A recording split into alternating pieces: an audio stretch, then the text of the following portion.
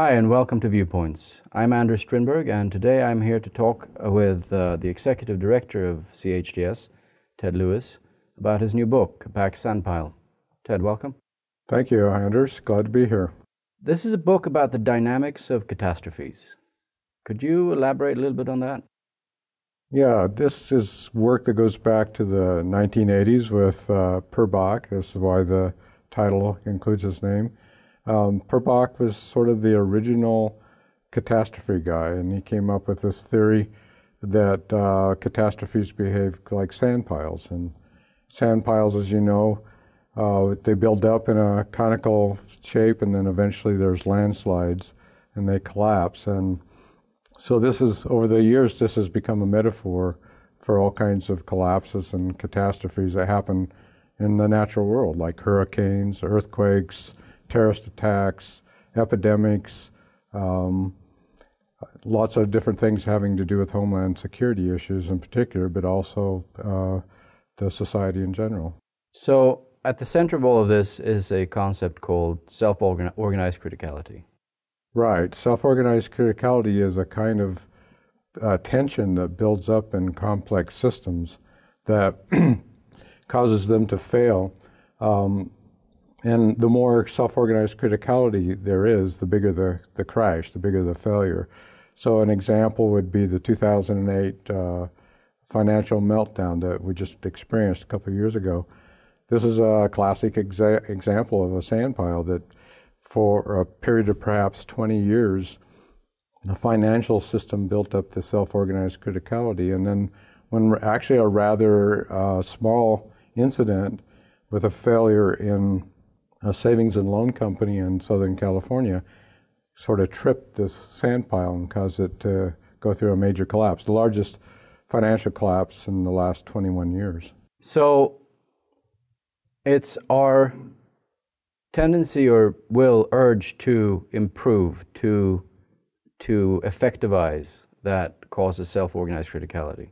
Right. One, one interesting thing about my approach, because uh, Bak has been written about many in many other books, but one of the approaches I took was his what I consider his complete theory, not just the theory of the sand piles, but what causes them and what uh, um, Bak called punctuated uh, equilibrium, which means that in uh, Bak's view, uh, these collapses are actually necessary. Uh, without them, you don't have progress. So, what happens is we go through cycles. We go through a built-up of self-organized criticality, and then we then things collapse. And the reason we do that, according to Bak, is because we, in modern societies, we're interested in efficiencies and optimization. So we take out all the surge capacity out of these systems. So we have just-in-time inventory systems, or we have uh, hospitals without surge capacity, or uh, electric power grids without surge capacity, or uh, tele telecom systems that are very efficient and optimal, but without surge capacity. So, so this is sort of the cause of self-organized criticality. And it also spreads into the political realm, right? Spreads into the political realm. A couple of interesting counter uh, intuitive ideas in the book is that uh, that in terms of catastrophes, you want uh, what are called uh, short-tailed catastrophes. That is, the likelihood of really bad things uh, to be very to uh, go down actually rather than increase. But in terms of innovation and political things, sometimes you want a long tail. You want these highly unlikely things, which um, are called black swans by Taleb.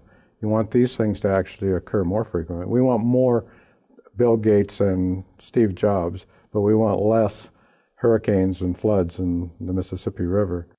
So we want to have these short-tailed events rather than the, the black swans.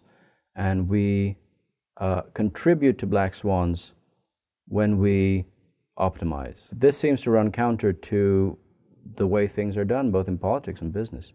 Yes, and in fact, in the electric power grid, if you increase the reliability of the components, you actually uh, cause the outages to be bigger. So the 2003 outage, for example, would be considered a black swan. And And this is work done by uh, scientists, not by me, but I describe it in the book. But uh, the um, size of the black swans actually grows when you make things, the components that go into the system, more reliable. Another example is the SARS epidemic, which uh, spread throughout the world. It was, was the first pandemic of the 21st century. And rather than asking why did this happen, I asked why did it stop? Because SARS actually started and burned out essentially in about an eight month period of time. And the, the popular wisdom is that uh, pandemics are more likely to happen because of uh, air travel, modern air travel, which is spread, tends to spread uh, contagions throughout the world. But I, in my book, I describe why these things don't happen. Actually, the there's a theory proposed by researchers in Beijing Normal University that I describe in the book that claims that uh, uh, air travel, particularly long distance air travel, is the reason why these pandemics actually stop and they don't succeed. And they can apply this also to uh, terrorist uh, organizations. And that theory is uh, somewhat mathematical, but it kind it kind of makes sense because as contagions take big jumps from one country to the next, they become diluted, they become weaker, and they tend to die out. So actually, if you wanted to start something like the Black Plague of the um, Middle Ages in Europe, it, ha it, has to move slowly, and it has to be local rather than uh, long distance like you would experience with uh, air travel. And you also apply this to internet viruses. Internet viruses are a classic case of uh, epidemic, epidemic spreading through networks. And uh, we know, for example, that uh, viruses spread very quickly through the internet because of the structure of the internet. It tends to have many hubs, uh, hubs being uh, uh, websites or, or services that are highly connected, have lots of connections with other other hubs. And this is also uh, true in uh, human populations because uh, people with lots of social relationships tend to be super spreaders of diseases. So the same thing happens in the internet, which uh, leads you to a kind of interesting uh, countermeasure. If you wanted to reduce the uh, amount of damage done by viruses on the internet, instead of putting uh, antiviral software on your personal computer, you would put you would uh, put more effort and hardening into the servers themselves. And of course, there are fewer than uh, about 100 uh, really big servers in the uh, global internet. So you really want to apply the treatment to roughly 100 computer systems in, in the world. So, what can we do about this? Um, how does one optimize without optimizing? Well, the, the remedies are not very desirable because it actually suggests that you run these complex systems suboptimally, that you, instead of trying to maximize the profit from the electric power grid, you try to uh, suboptimize it. That is, you, you, you run it at uh, less than optimal performance because that gives you a surge capacity. And with surge capacity, you could handle the cases when uh, everyone turns on their air conditioner simultaneously, that kind of thing.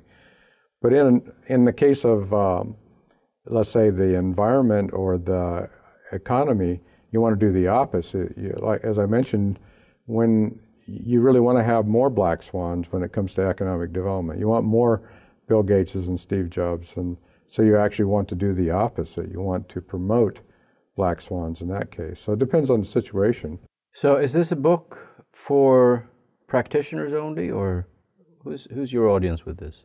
Well, I think this uh, has an audience of people that are interested in a different way of thinking about the world, because for the past 350 years, we've been taught to think about averages and bell curves and and what the way things are supposed to happen in a kind of a normal world. And uh, Bak's Sandpile is more about uh, power laws and um, lopsided uh, distributions. And uh, when you think about uh, things such as uh, homeland security and terrorism and the economy and politics, if you take this sort of lopsided distribution point of view, you get different answers. You get a different way of thinking about the same problems. And what I find interesting about it is it sort of drives you into rethinking old problems in a new way.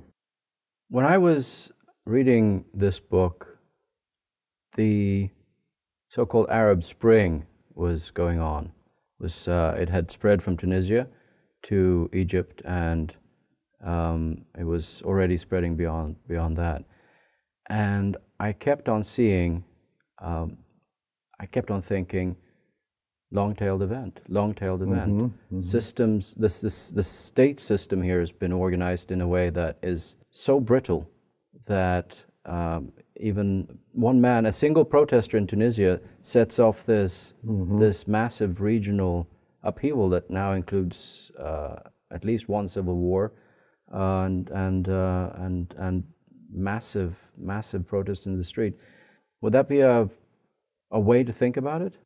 Yeah, I think so. The um, uh, using this metaphor to understand politics is a rather undeveloped field, but the, what you described pretty much fits the model. If you think about it, the self-organized criticality in those societies was uh, to, uh, totalitarianism that kept kind of tightening the noose, right? They kept increasing the self-organized criticality by, uh, you know, removing freedoms and restricting the population. And, and as they did this, it produced uh, resentment amongst the population. And that resentment grew to what we call a critical point or a tipping point in my book. And, uh, and it didn't take much to set off the conflagration. It, it, if that same thing had happened uh, with the Tunisian vendor, say 20 years ago, probably nothing would have changed, right? But the fact was that this, this uh, criticality had built up over a period of 20, 30 years to where this small, relatively small incident actually set things off. And so, yeah, I think it very much fits into the theory of this book. There's a fractal thing going on here as well, because you have this self-organized criticality on the level of these individual societies, mm-hmm. then the regional system as a whole, uh, but then also through the internet and um, Facebook, Twitter, all these various things, um, how it relates to the global system. I suppose a question is, how does one run po- political systems suboptimally? Because I know you say this is an undeveloped field, but if anyone has any ideas about this, I think it might be you. Well, yeah, the American government is the most suboptimal government invented, right? Because the the founding fathers realized that uh, they were they wanted uh, the government to be inefficient, right? Uh, with multiple checks and balances, um, division of power, uh, not only you know on vertically with federal system and state system and local system, but also across the branches of federal government with the judicial and president and Congress, and so they they actually invented the original suboptimal government, right? So so I don't have a con concern about uh, this happening within the United States because it's already sort of matches that uh, uh, situation. But it's a terminology that no one likes to hear, though. Right? Yeah, so it's terminology. yeah, people don't want to hear that uh, the government's inefficient, but the reality is uh, the federalism in the United States is pretty suboptimal already. We've heard a lot about the use of Facebook and Twitter and other uh, social media uh, in, for the purposes of these these various uprisings, or this this regional uprising. Um, you have anything, any thoughts about that? What social media like Facebook and Twitter and so forth do is they build out the net, the social network. It's Facebook has a half a billion people, right? So that essentially increases the connectivity between the nodes in the network, where the nodes are the people and the links are the connections between them, whether they're on Facebook or whatever. A hundred years ago, we didn't have that, so the the network was very sparse. That is, it's unlikely that you or I would have a social connection with someone in in Europe or um, Middle East. But now it's um, now with Facebook, the connections are very thick. There's very they're very dense, right? And we know from network theory that the denser the linkages, the faster a contagion moves.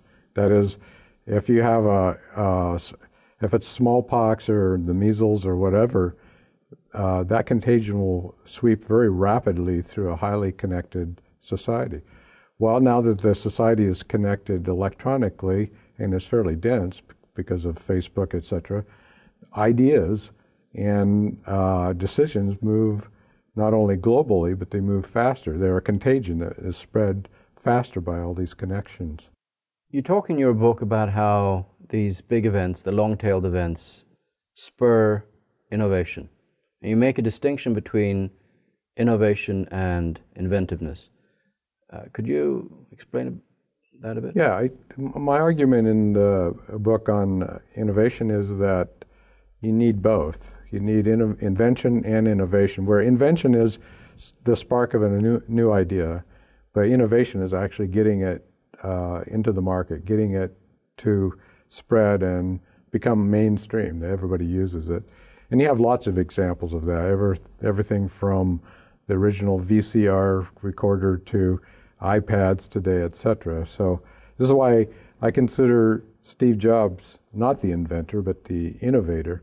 And I talk about the inventor of television in that chapter. And, and he was unable, even though he's a smart guy, he's unable to make his version of television uh, popular enough to be in everybody's home. It took Sarnoff, the, the innovator, to actually spread that innovation. So I see these things happening hand in hand. What's interesting about invention and innov innovation to me is not all of them succeed, right? In fact, most fail. And in fact, the numbers that succeed are like black swans. So you go back to the Bak's sandpile analog and say, well, are these new ideas and inventions and products, are they actually uh, collapses of the Bak's sandpile? Only in this case, they're good collapses, right? Because we come up with new ideas and they get uh, into the mainstream and the economy benefits from them and so forth. So, so, but nonetheless, they're black swans. And, and if you want to drive uh, an economy, you want more black swans. So it's the opposite of the homeland security question where you want fewer black swans, you want fewer power outages and floods and hurricanes and uh, nuclear power meltdowns. And in uh, innovation and invention, you want more. And so there are things that you can do on a, um, a social and economic policy level that would actually create more black swans, which is good for society. It's interesting stuff. Uh, congratulations on your uh, on this book, the most recent of, of many, and uh, thank you for being here today. Thank you, Anders.